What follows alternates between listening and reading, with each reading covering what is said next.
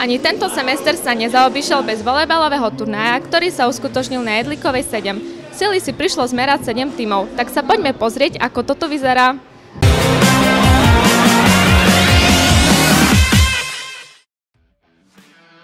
Do turnaje sa zapojili družstva Helmans, Mladý a Pekný, Tumens, Pušné líšky, Študentská rada Jedlikovej 9 a FBI. Každom družstve muselo byť aspoň jedno dievča a turnaj sa hral pavukovým tzv. double elimination systémom, čo znamená, že aj napriek prehre sa mohlo družstvo ešte pobiť o celkové víťazstvo.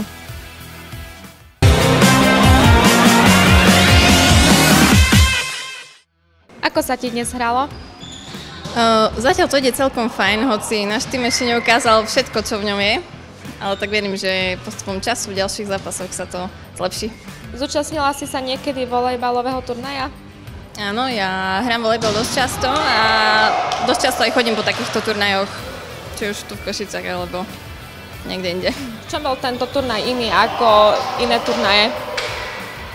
V čom bol iný? Možno to taká atmosféra, internátová atmosféra, ten taký študentský život, to sa mi páči na tomto turnaji. Študentská rada Jedlikovej 9 si pripravila pre študentov týchto internátov volejbalový turnaj, ktorý sa uskutočnil 13.3. v útorok. Je tu príjemná atmosféra.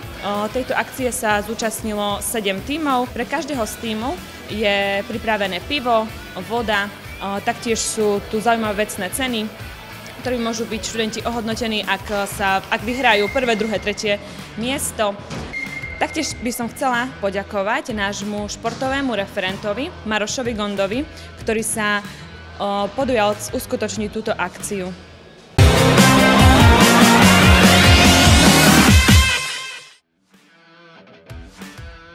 Spanielu jazdu turnajom predviedlo družstvo Tumen, spomedzi porazených družstiev sa najlepšie prezentovalo družstvo Pušné líšky, ktoré pri ceste do finále zaznamenalo jedinú prehru v prvom zápase práve s Tumenom. Vo finále repríze prvého kola bolo opäť úspešnejšie družstvo Tumen, ktoré sa po výhre 2-0 na sety stalo celkovým víťazom turnaja. Pre študentskú televíziu Kristýna Gaborová.